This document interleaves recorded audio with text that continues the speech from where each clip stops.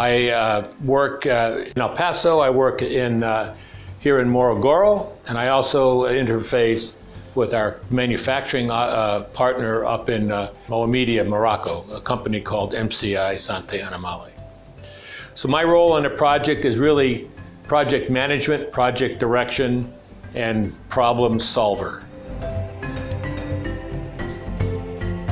So in order to translate, to move a scientific idea into something that's used by everybody, it takes a whole spectrum of people with different capabilities and different interests. We need the scientists to make the discovery. We need the product project developers to take that discovery and form it into something that's usable. Then we need the manufacturers to actually make it and get it licensed for use. So in this case, we're developing a vaccine. This vaccine was developed initially in the 1970s by the United States Army in Frederick, Maryland. Many, many different scientists have worked on this over the years. Lots of science has been done.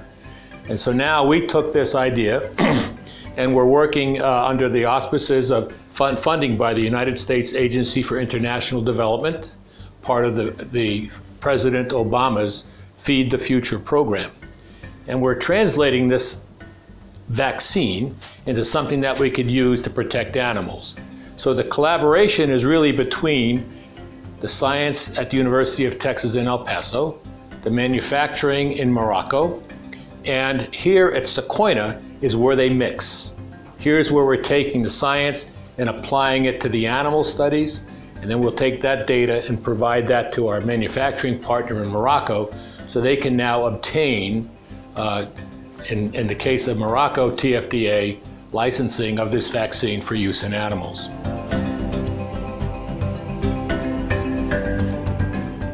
The primary beneficiaries are, I would say, maybe threefold.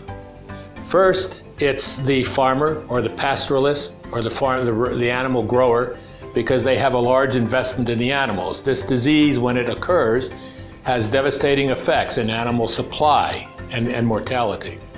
Second would be the translators of that feed. You have to get the animal and its milk, let's say, from the field to the shelf. And so, for example, in the outbreak here in Tanzania and in Kenya in 2006 7, many of those people lost their business because there was no food. The food supply was stopped, interrupted. And then the third beneficiary is our people, because this disease can be spread from animals into humans.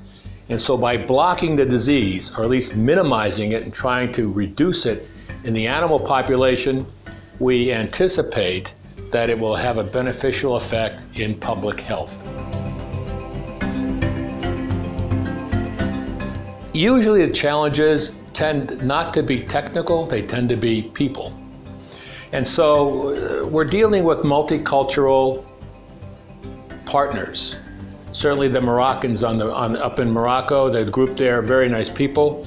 We're dealing with our own US people and then here in Tanzania. And we sometimes work to a different drum. We, you know, some of us work differently. And so getting, first of all, to understand the cultural differences was very, very important.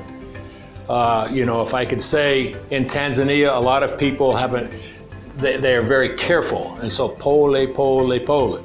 In the United States, we say ready, fire, aim. you know, where we, we like to push ahead. And the manufacturing people in Morocco, they're very methodical because they have a certain way of doing things. So now my role has been to try to bridge, bandage, solve those issues and get everybody on the same team.